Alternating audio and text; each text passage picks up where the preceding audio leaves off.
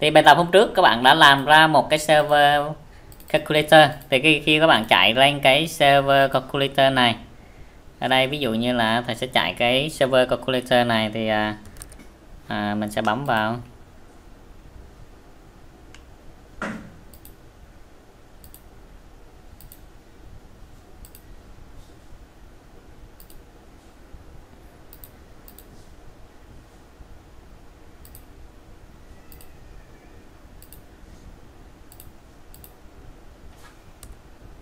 Các bạn bấm vào là node ở đây mình sử dụng là lắp 2 sau đó bấm enter. Thì à, sau qua này mình sẽ gọi nó là à, localhost. Bột nó là bột à, 9999 ok chưa và trong này à, các bạn à, mình đang sử dụng là bột là 9999 và ở đây mình sẽ gọi hàm hàm s. Hàm cộng truyền vào hai tham số a và b. Thì qua đây bạn sẽ gọi nó là duyệt hàm s truyền vào hai tham số. Hai tham số thì các bạn bấm dấu hỏi chấm a bằng 4 và b bằng 5 ok. Thì ở đây các bạn thấy mình truyền vào cho nó hai tham số. Tham số a là bằng bằng 4 và b là bằng 5 thì khi cái bạn truyền vào hai tham số thì nó sẽ trả về cho các bạn kết quả đây là bằng 9 và chúng ta sẽ viết cái chương trình tên Android truyền vào hai tham số tham số A và tham số B trả về cho cái quả là cộng trừ nhân chia. Thì à, bắt mình sẽ bắt đầu là cài đặt code bên Android. Thì đầu tiên thì bạn sẽ new cho mình là một cái Android project và đây mình sẽ chọn là empty activity. Mình sẽ đặt cho nó một cái tên. Ví dụ như là mình đặt tên là calculator.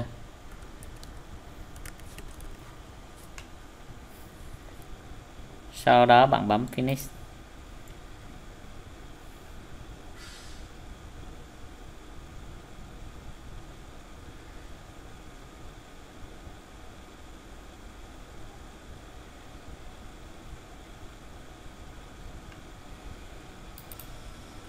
Sau khi chương trình mình chạy lên thì nó sẽ như thế này. Và tiếp theo mình sẽ build cái project này lên trên máy ảo. Thì các bạn sẽ bấm vào, mình sẽ build trực tiếp lên máy ảo luôn và các bạn à, chờ xem kết quả.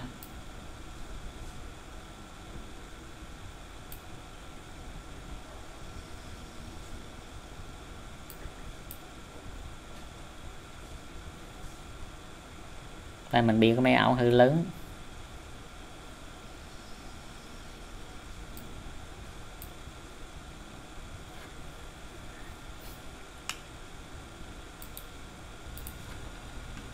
Ở đây thì à, kết quả chương trình của chúng ta. Thì chúng ta cho đã chạy lên được chương trình là Hello World.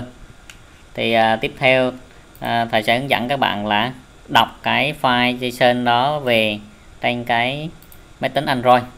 Thì đầu tiên mình sẽ thiết kế cái sẽ dữ liệu à, mình sẽ thiết kế cái giao diện trước.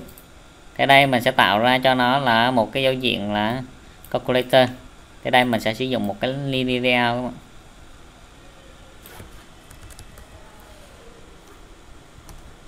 trong linear layout thì nó sẽ có thêm một thuộc tính là orientation.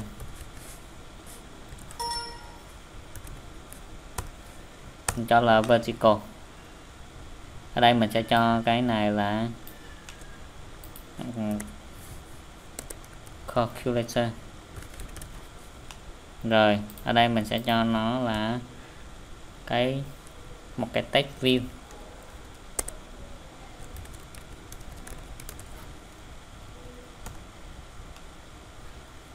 Mình cho quick là map hay là wrap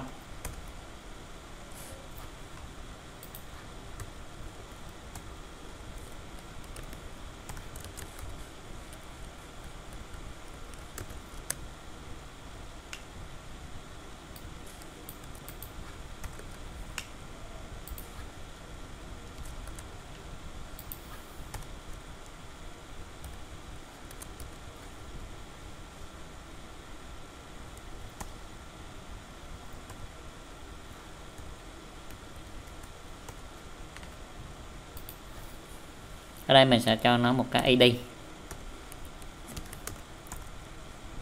ID number. Hay.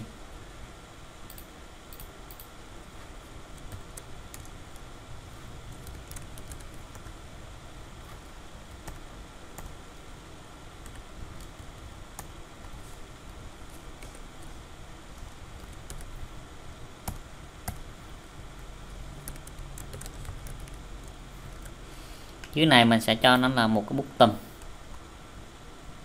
Cái bút tùm này thì mình sẽ bỏ vào một cái linear, bởi vì ở đây mình sẽ có rất là nhiều bút tùm. Mà ở đây mình sẽ cho là map hay là wrap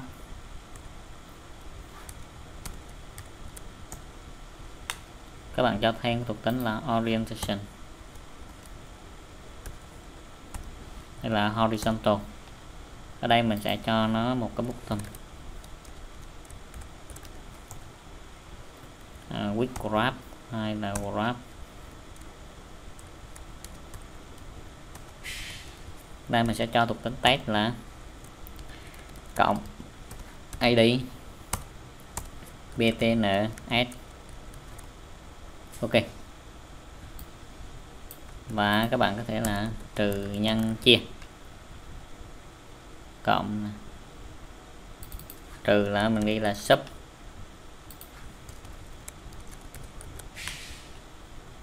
Nhân.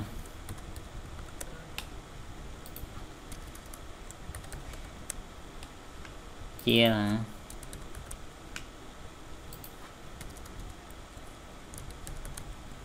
ok, và mình sẽ build lại cái à, cái chương trình.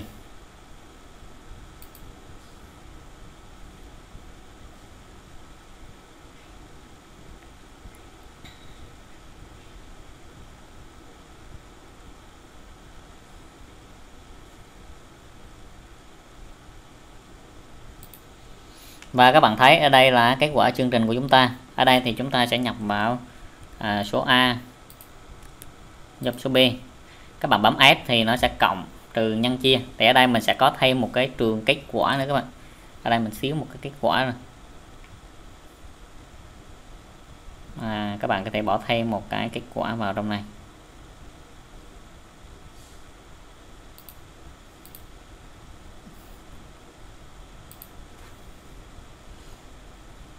Kết quả thì à, các bạn có thể sử dụng một cái à, text view.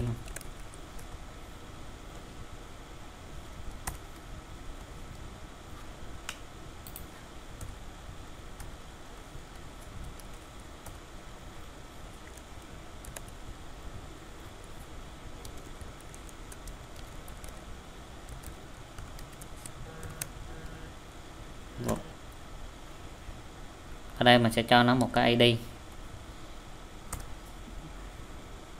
text view research. Rồi, ở đây mình có thể là cho cái size nó lớn hơn chút.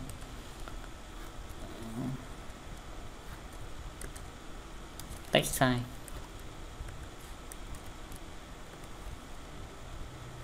Ở đây ví dụ như mình sẽ cho nó là 18 pt ok, như vậy rồi, cái này thì à, nó sẽ hiển thị cho mình là cái kết quả.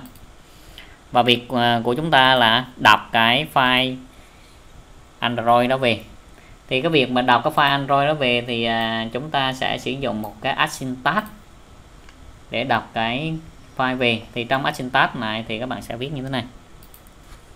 Bạn sẽ khai báo một cái private class ở đây bạn sẽ đặt cho nó một cái tên. Ví dụ như là uh, call call này là collector task action task đấy các bạn. Bạn ghi action task luôn cũng được. Action task. Ok. Thì ở đây mình sẽ append một cái action task. Đây action task và trong cái syntax này nó sẽ truyền vào cho bạn là những cái thông số. Ở đây sao nó không tự động mà ép thư viện luôn không biết. À, ví dụ ở đây mình sẽ bỏ vào ba thông số string.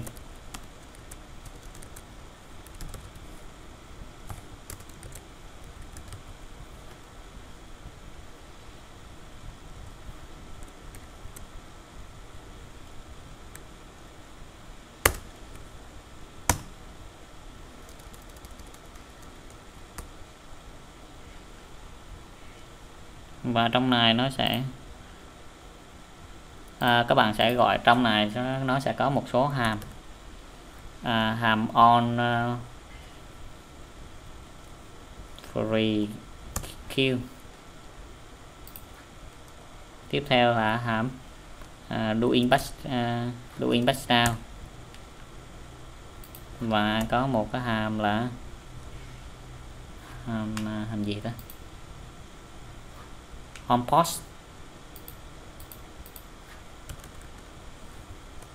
đây, nó sẽ có ba hàm. Thì đây à, bạn à, có thể hiểu được là đầu tiên thì nó sẽ chạy cái hàm hàm on free này. Thường thường cái hàm on free này nó bật lên và nó sẽ chạy cho các bạn một cái process 3 cái process 3 là cái watching view các bạn. Nó xoay xoay xoay xoay đến khi bạn là đọc được dữ liệu rồi á, thì nó sẽ, cái hàm này nó sẽ tắt cái process 3 của bạn đi và nó sẽ log dữ liệu khi cái này đang chạy thì nó sẽ chạy là cái phần mà uh, doing background. Doing background là nó sẽ chạy này.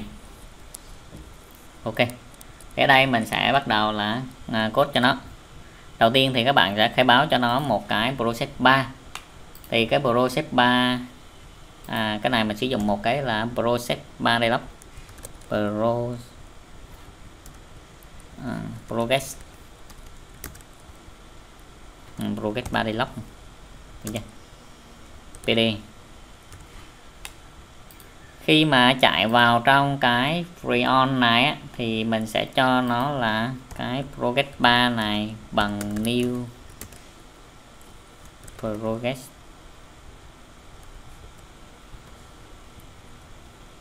À. Pro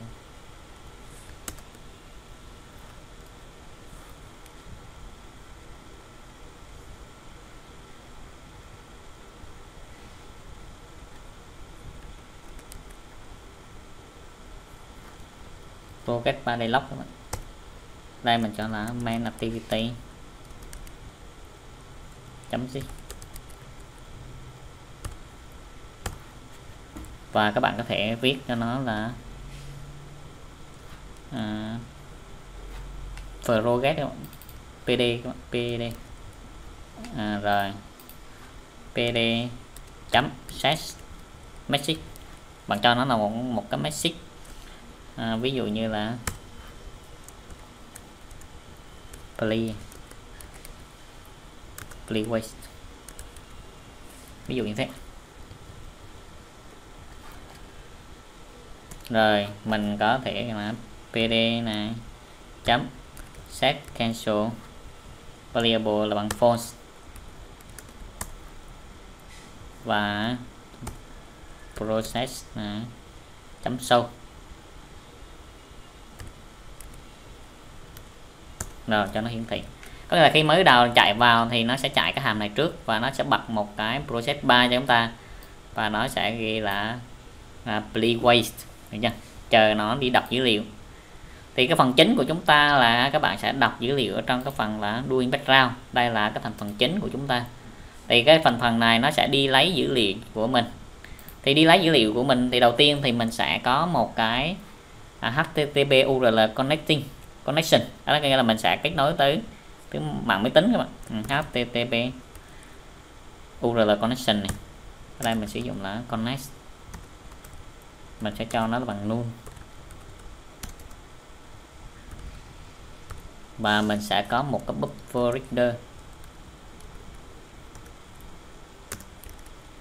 Reader mình cũng cho nó là bằng null đây là mình sẽ khai báo một cái biến và trong này mình sẽ sử dụng là trackcast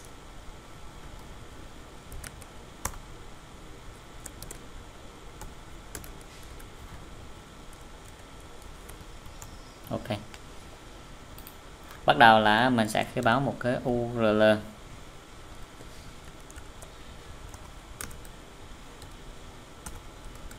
bằng. New URL ở đây mình sẽ sử dụng là một cái param.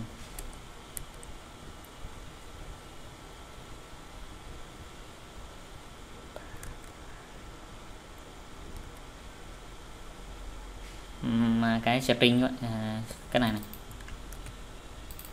string không lấy cái phần tử thứ không. Thường thường chỗ này người ta để chữ là param các bạn. Cái này là tham số rồi sau đó thì mình sẽ gọi cái hàm là connection bằng ừ, uh, http connection bằng cái url này chấm open connect. Connection này chấm connect. Ở đây là mình sẽ connect tới tới mạng khi mà connect với mạng là thì mình sử dụng một cái input stream. À, bằng connection chấm get input stream. Và mình sử dụng một cái reader.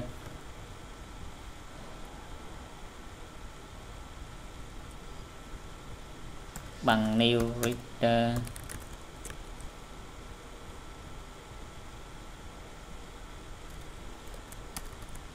New buffer reader cái buffer reader này mình sẽ new một cái input stream Mà ở đây mình đọc vào là một cái stream rồi. Sau đó mình sẽ sử dụng một cái string uh, string buffer. Bằng new string buffer. Sau đó mình sẽ sử dụng một cái string line line là mình sẽ đọc từng dòng đấy bạn. Rồi. Tiếp theo là mình sẽ viết một hàm while while cái line này. Mà bằng cái reader. Chấm read line. Mà nó khác luôn. Thì mình sẽ sử dụng là buffer này. Chấm append. Line này cộng với shift n shift n cho nó xuống hai. Ở đây là mình sẽ đọc cho nó một cái JSON. Các bạn đọc cái JSON từ trên mạng xuống thì nó sẽ đọc như thế này. Shift n rồi. Và chúng ta có thể là ghi lóc nó ra. Đọc xuống rồi thì mình có thể ghi lóc ra. À, lóc chấm d bằng à, cái này một task thì các bạn mà viết như thế này. Cộng với là phải buffer chấm to string đó ví dụ như thế. Cái này là mình sẽ in ra cái log và ở đây mình sẽ return lại cho nó là về cái cái này mình sẽ in ra cái là lock exception. Lock chấm d. Error phải ax chấm to string rồi. Cái này mình sẽ return về buffer chấm to string um, buffer chấm string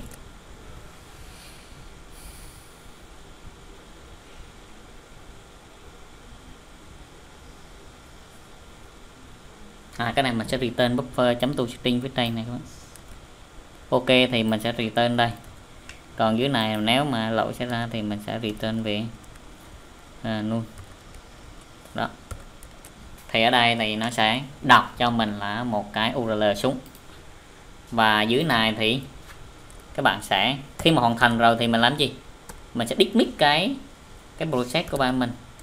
Pro pd.e showing có nghĩa là nó ném mà nó đang chạy thì thì mình sẽ làm à, dismiss nó đi thôi. Pd chấm à, dismiss ok. Rồi mình sẽ test thử. Ở đây mình sẽ test thử một cái à, url nào cho nó lớn lớn một tí chứ mà cái url của mình nó nó ít quá các bạn à, mình có thể lấy một cái url nào trên mạng à, đây mình test thử.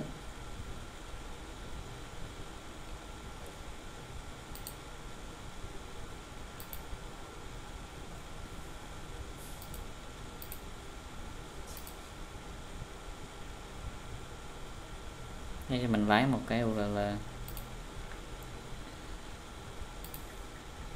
à, đây là các bạn thấy mình sẽ lấy một cái file JSON này trên mạng xuống. À, cái do cái file này nó nhiều nên là mình sẽ lấy cái file này cho các bạn dễ dễ hình dung. Chứ cái file của mình thì nó sẽ có một cái một thôi. Bây giờ có một cái số thôi này rất là ít nên các bạn sẽ không thấy được cái nó chạy như thế nào. Thì ở đây mình sẽ gọi cái cái này nó chạy. Thì đây mình sẽ gọi thẳng vô trong cái à, cái activity của mình. Thì à, các bạn sẽ gọi trong cái activity của mình thì à, nó sẽ chạy như thế nào thì đây mình sẽ dùng là à, uh, new một cái action task mình sẽ new một cái action task call action task này. Và đây mình sẽ truyền vào cho nó là một cái JSON ok chưa? À, chấm xq action task chấm xq rồi mình truyền vào nó một cái JSON và chúng ta sẽ chạy thử chương trình.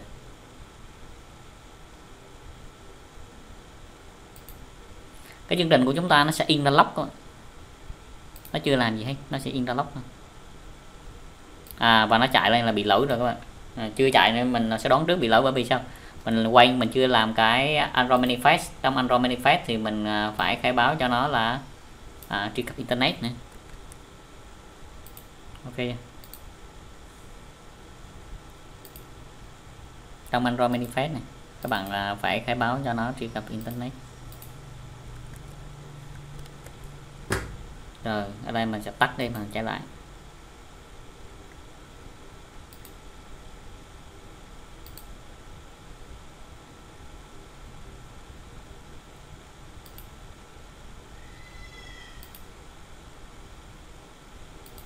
Thì khi các bạn thấy mình chạy lên uh, à, lên á, thì uh, các bạn thấy nó đọc ra file JSON này. Có nghĩa là chấm to string của mình nó sẽ đọc ra file JSON này. Thì cái file JSON này các bạn thấy mình đang đọc một cái file JSON từ trên mạng xuống ok nha. Đây mình đọc một file JSON từ trên mạng xuống. Có nghĩa là cái phần này mình làm nó là sẽ đọc một file JSON từ trên mạng xuống. Thì cái vấn đề của chúng ta là mình sẽ đọc cái file của chúng ta. Thì cái file của chúng ta thì các bạn thấy là của mình là như nào? À, localhost. À, localhost. 9999 đúng không?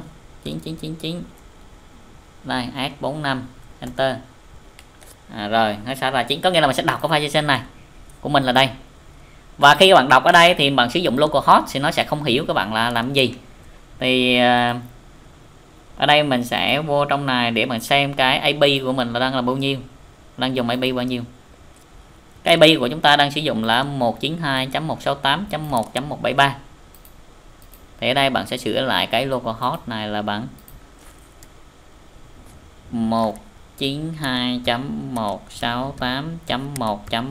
73 mình enter. À, ok nó chạy bình thường này. Sau đó mình sẽ copy cái URL này và chúng ta sẽ bỏ vào trong cái ở đây mình sẽ thay thế cái cái đường dẫn này. Các bạn không cần sử dụng cái đường dẫn này. Cái đường dẫn ờ, lúc trước á cái đường dẫn trước là thầy làm test thử cho các bạn xem nó chạy cái nó đọc cái file JSON như thế nào bởi vì cái file JSON của mình nó quá ít. Nên các bạn có có thể là bạn không thấy được ờ, những hắn chạy như thế nào. Còn ở đây thì bạn sẽ thấy nó chạy là à, đơn giản hơn, nó sẽ in ra cho mình kết quả là bằng chín. Thì việc mà nó in ra bằng chín rồi thì các bạn sẽ lấy kết quả đó và mình sau lên trên màn hình thôi.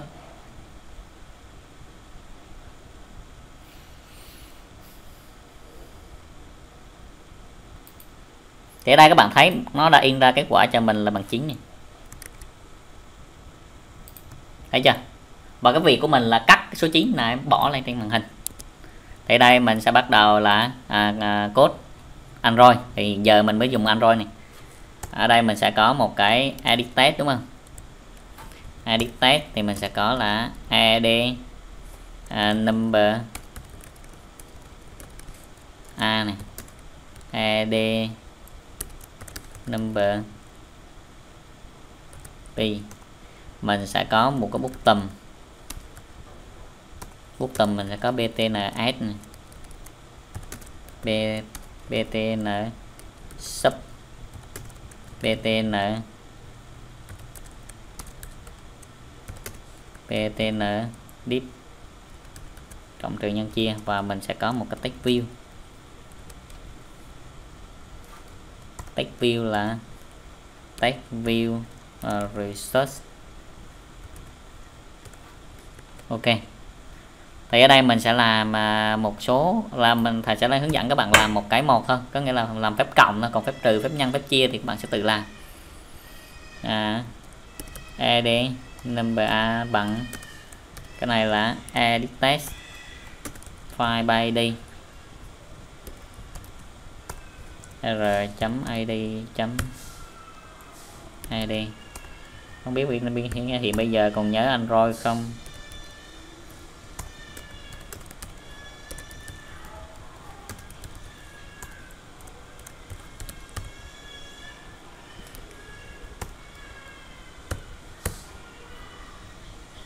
Btn s bằng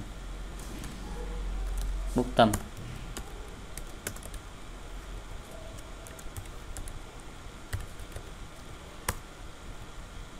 Ok.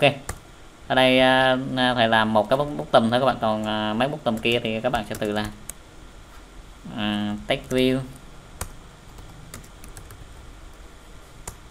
R chấm id chấm text view reset. Ok. Và khi chúng ta chúng ta sẽ khai báo một cái à, string link url này bằng bằng cái này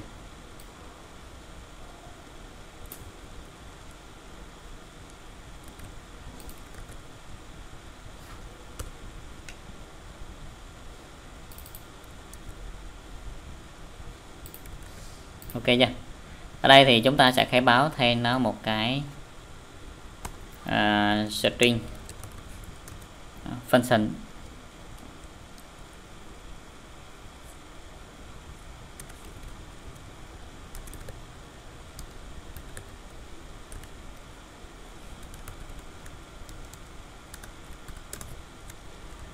Và cái function này mình sẽ cho function nó là bằng s. Đây là mình cho mặc định thôi các bạn ok chưa ở đây mình sẽ cho nó à, string. A bằng. Không.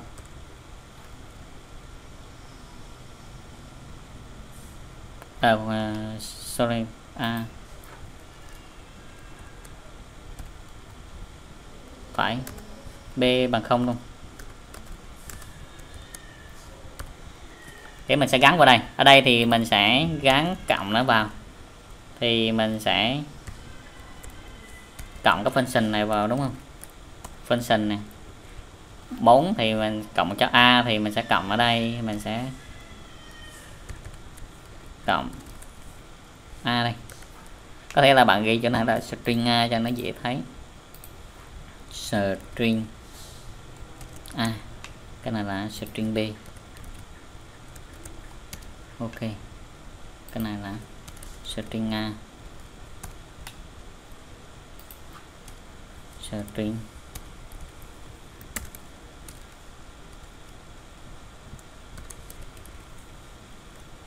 ok, đó. Thì khi mà nó sẽ chạy vào trong cái nút add của chúng ta, btns chấm set on click listener bằng view, đúng không? New view on click. Rồi. Khi bạn click vào thì nó sẽ gọi cái hàm này. Đây. Ok chưa? Gọi hàm này. Và trong này mình sẽ làm cái gì?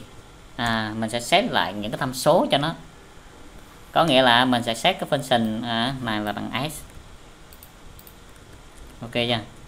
Và cái string a này, bằng ad number i chấm get test, chấm to string. String b bằng ad chấm get test, chấm to string. Ok.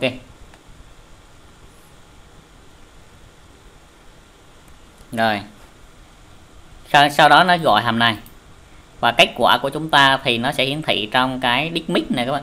À, khi mà mic thì nó hiển thị là ad à, tv đúng không?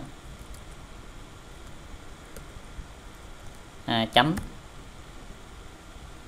Set test.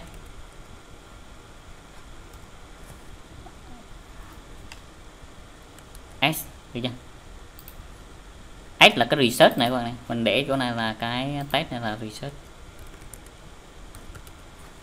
Kết quả nào ở đây này.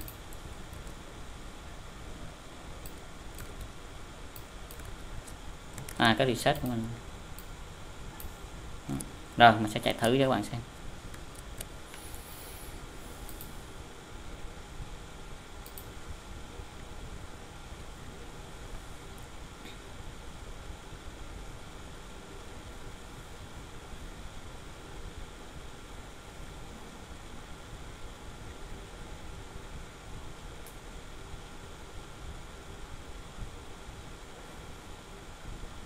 Và chúng ta chạy xem chương trình này. Ở đây mình sẽ nhấn là à, 33 cộng cho 44 bấm X. Ờ, nó bằng không. Có nghĩa là ở đây nó chưa lấy được cái dữ liệu của chúng ta các bạn. Ok chưa? Và chúng ta sẽ test lại cái chương trình của chúng ta nó có in ra không? Xem nó có in ra. Nó đăng ghi là bằng không các bạn. Nó đang in bằng không có nghĩa là chỗ này của chúng ta nó không không nhận được cái dữ liệu ờ, à, xét cái này vào. Có nghĩa là nó chưa xét được cái dữ liệu này vào. À cái dữ liệu này các bạn sẽ gọi lại ở đây. Nó sẽ lấy dữ liệu ở đây. Thì ở đây mình sẽ gọi lại cái hàm cái cái này các bạn. Xong đó thì mình sẽ gọi lại cái hàm này. Có nghĩa là mỗi cái à, nút nút add thì mình để đây là kho add và sub thì mình gọi là kho sub được chưa? Thì nó sẽ chạy lại và chúng ta sẽ test lại cái chương trình của chúng ta.